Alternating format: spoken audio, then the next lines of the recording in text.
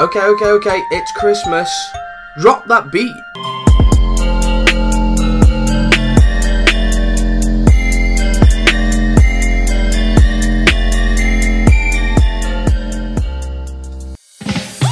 Welcome to another episode of 12 Days of Christmas with me, your host, Curly Loves His Music, and today we're going to be looking at 10 reasons why your beloved Santa Claus, St. Nicholas, whoever you know him as, is creepy. Have you ever stopped to think that he sees you when you're sleeping? The fact that he watches kids when they sleep? It's a little bit creepy, isn't it? Just a little bit. A strange man with these powers who can break and enter into your house to watch your kids sleep to make sure that they're sleeping perfectly fine. He watches when you're awake, so does that mean he actually looks at you in the shower? Like, that's, that's, that's a bit meh, you know, it's a bit risky and he watches you when you're doing things that you shouldn't really be doing, you know.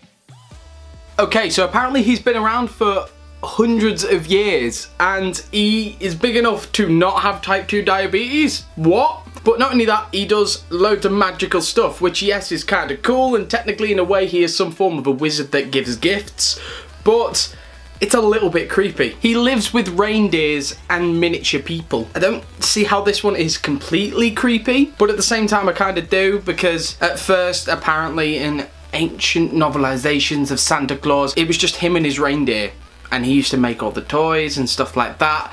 And it's like that's that's just a little bit weird. I wouldn't say creepy but he lives with reindeer just him and them. His beard is so ginormous that it could smell of anything. So if you went near him and don't forget he's really old. Yes he may bathe and stuff like that but I don't know why. I kind of get the hint that with his dietary requirements that he has you know a ton of cookies and milk in one night um and then that's it for the year. I've got a feeling it'll smell pretty bad. According to some countries' interpretations of Santa, he has to put his finger up his nose to go back up the chimney. Don't shake his hand. Haven't you thought it's a bit weird the fact that he secludes himself away from society? Yes, if he was this all giving celebrity for one time a year, maybe I'd embrace the public a bit more instead of hiding myself away to a really out of reach area of the world.